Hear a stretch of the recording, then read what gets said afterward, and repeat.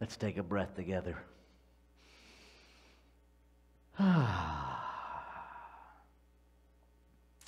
so, our monthly theme for April is stepping into the unknown. Perhaps it's about 12 months in arrears, but here we are. and our weekly talk this morning is the winds of change. And so, through this month of March, we're opening ourselves to, in March, we opened ourselves to Spirit's highest vision of itself as us. We spent the whole month figuring out, exploring how to live in that question. And so, here in April, we're going to take the next step into how to actually live in that question and allow it to unfold, allow the vision to unfold. We're going to explore our commitment to the vision because um, it's easy to catch the vision and then it's sometimes easy to set it on the shelf instead of actually allowing it to evolve as us.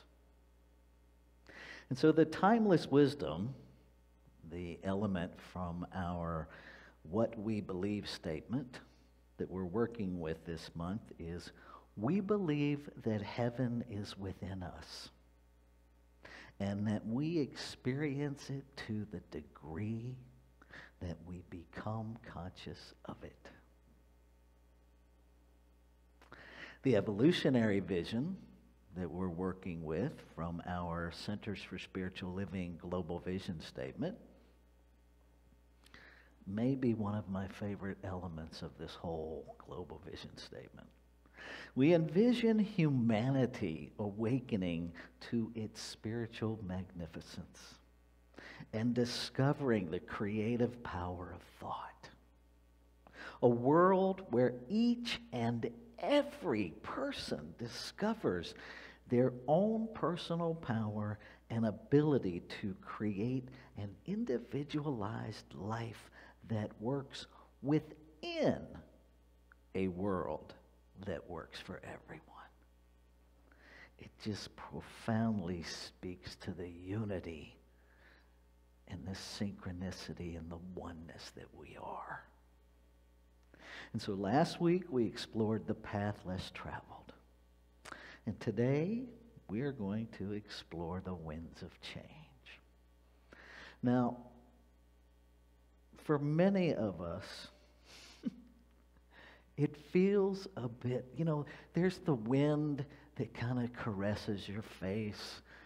And we really don't notice changes much, but it does. It's blowing seeds around and things are getting planted and pollen's being dispersed.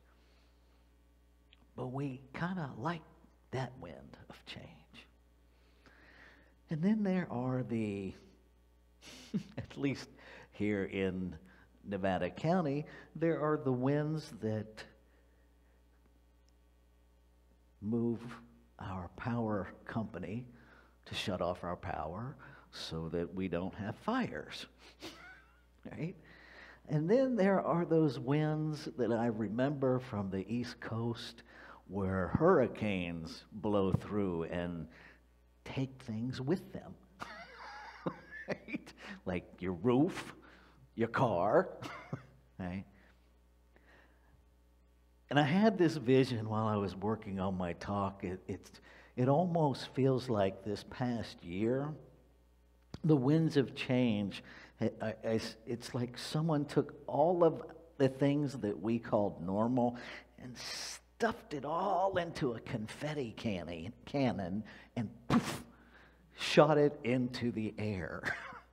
and we're all waiting for it to land so we know where our stuff is, right? it's like, I, I, you know, somebody the other day was asking me about, you know, returning to normal here at the center. And I had to laugh because I don't even know what that is. Right? I'm still waiting for the pieces of the puzzle to land. And the picture's going to be different, folks. That, you know, what we were on March 24th of 2020 is gone. it's gone. And that's not a bad thing. It's a winds of change thing. It's an evolution thing. Um, I actually had,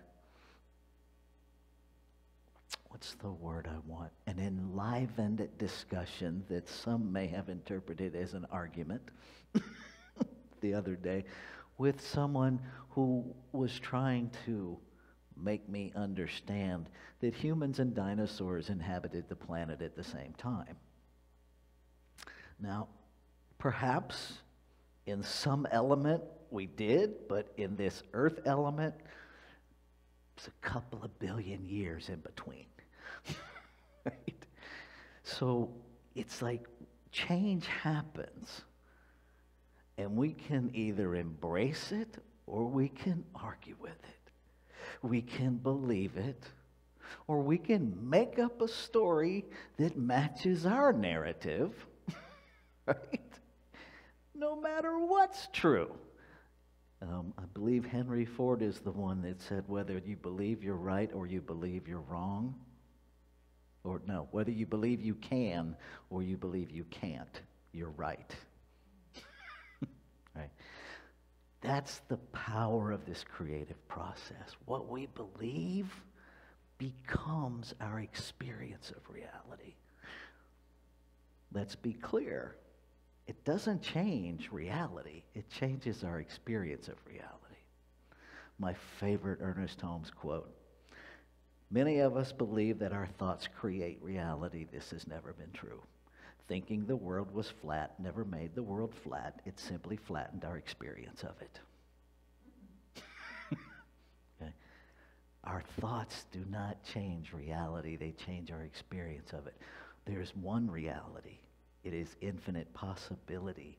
It is that thing within us that I spoke briefly about before our meditation that when we know that presence, Gratitude is the natural outcome of that knowing. Our gratitude isn't tied to the circumstances of life. So neither is our vision. But our vision is tied to our belief system, what shows up as our vision, the manifestation of our vision. And so if you get a vision of Spirit's highest idea of itself as you, that your human self argues with, what you will manifest is the argument, not Spirit's highest vision of itself as you. I want to share a story that I think captures in a really sweet, powerful way the power of being all in. Okay? And so that's really what is, is available to us. When we catch this vision of Spirit's highest idea of itself as our life, will we go all in? Now, my understanding is this is actually a true story that happened somewhere in a small town here in the United States, in western United States. I don't know that to be factually accurate, but that's the information that I came across. So here's the story. One day, a little boy was out on the street going from store to store with a silver dollar. And he would go into each store and say, Excuse me, do you sell God here? Now, the first store he went into, the store owner thought, I'm being punked. I'm looking for the cameras, and just essentially ran the kid off. Right? So he continued. He went in every store he could find in his town. And every time he went in, do you sell God here? He got brushed off. until finally it was, he'd been in 60 plus stores. And he went into this store. And he, it was an elderly storekeeper. The story says elderly, and then later on it says he's about 60 years old. I take exception to that.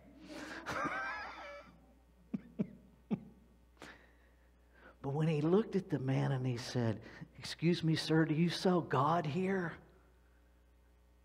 The man listened to him.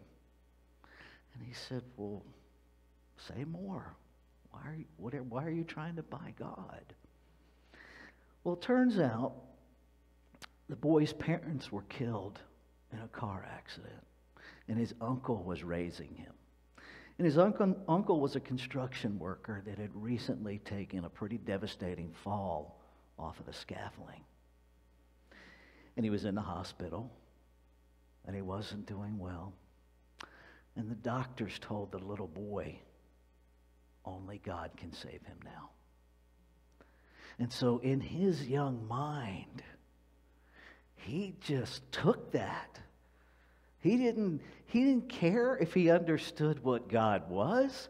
He didn't go through what does that mean? He just went about the business with the tools that were available to him at his level of understanding to get God so God could come save his uncle. Right? Now, notice there was no quit in this little dude. Right? 60 plus store owners blew him off. And he kept going. He was all in. And so the storekeeper, listening to his story, was moved. Was moved to tears. And he asked him, he said, Well, how much do you have? And the little boy held up his silver dollar and he said, I have this. He didn't even know it's a dollar. And the store owner said, Perfect. That's exactly how much God costs. Perfect. And he gave him a bottle in the story. He gave him a bottle that's called God's Kiss. Now, I actually took some time to research to see if that was a real product. I didn't find that exact name, but I did find a product called God's Sauces. Poseidon's Kiss and it's a, it's a line of hot sauces that are based on the Greek gods. okay? So the little boy, he, he bought himself a bottle of God, right? And the man told him, he said, Take this back, put it in the room.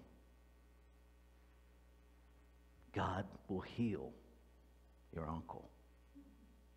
And so the little boy grabs the bottle and he's gripping it so tight his knuckles are white. And he runs all the way back to the hospital. And he goes busting through the door into the room. Uncle, Uncle, I brought God for you. I bought God. And it's going to save you. Now his uncle is completely unconscious. Right? Doesn't matter. The next day, the world's greatest surgeons were on a flight to that man's room. They arrived the next day, went straight in, conferenced with his physicians, looked at his x rays, analyzed his situation, came up with a different treatment plan. And within a very short amount of time, that little boy's uncle regained consciousness and was in fact healed. Until he looked at the hospital bill, which almost gave him a heart attack. And the hospital administrative staff assured him, This is nothing for you to worry about, it's already been paid. And he's like, Who paid it? And they handed him an envelope. And in the envelope, backtrack. They informed him that the store owner had paid. And so he and his nephew went back to that store because his nephew knew right where he bought God. so they went right back to the store. Well, as it happened, The store owner was off on a vacation, but had left a letter. And this is what the letter said.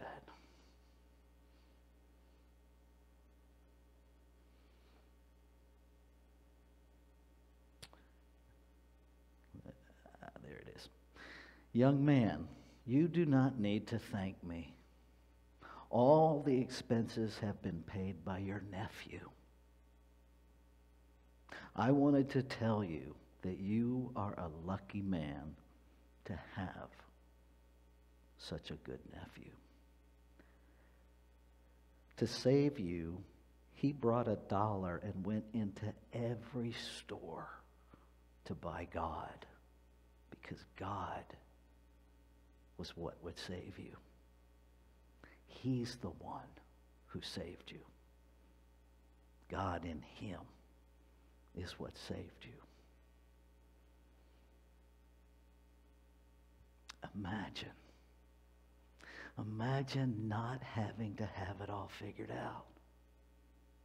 Imagine having the innocence and the commitment of that child, the excitement. See, that child was searching to buy God with absolute certainty, with a sense of gratitude. There was no doubt that God was available for sale, that he had the right amount of money. He just had to keep going till he found the right store. There was no doubt, there was no question, there was no quit. What would change in your life if you dared to step 100% into your vision, into the divine's highest idea of itself as you, beyond our limited idea of ourselves. To know with absolute excitement and certainty to awaken to our magnificence. Because I assure you, as each individualized expression awakens to its magnificence, humanity awakens to that degree. See, if we extrapolate this idea that heaven is within and we experience it as we become conscious of it, right? The same is true for humanity. It's one body, many cells. Right? So, as we each do our part to awaken to our magnificence, humanity awakens to its magnificence. And the synchronicity happens. And we don't have to worry about climate change because we will be living from an awareness that honors this planet. We won't have to worry about prejudice and bigotry and homophobia and xenophobia because we will all be living in an awareness of oneness. We will all be living a practice we choose knowing that it impacts the whole. And we choose an alignment with wholeness and oneness. And there will be no sense of loss. There will be no sense of, I don't have enough, because we will each be doing what we were divinely created to do. What an amazing world. It's right here. It isn't hidden. Are you willing to surrender to the vision, to go all in. And no matter what crazy notion, no matter what doors it takes you through, to say yes to the divine's highest idea of itself as you. Let's take this into prayer. How glorious it is to know, to feel, the vibration of the one, the infinite, the ever present allness.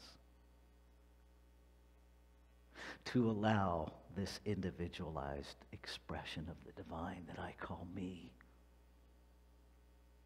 to know my oneness, to allow the divine to speak its word in, through, and as me.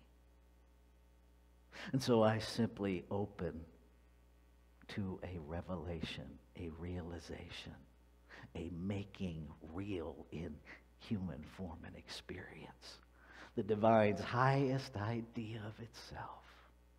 I say yes to going all in, no resistance, to being fully, fully in. I celebrate. I celebrate that in the truth of the unfolding of life itself, the spiritual life unfolding as me, nothing can go wrong. And so I align myself. I let go. And I let myself be. So I invite you to embrace this with me as we say together. Amen. Shalom. Amen. Aho. Ashe. And so it is.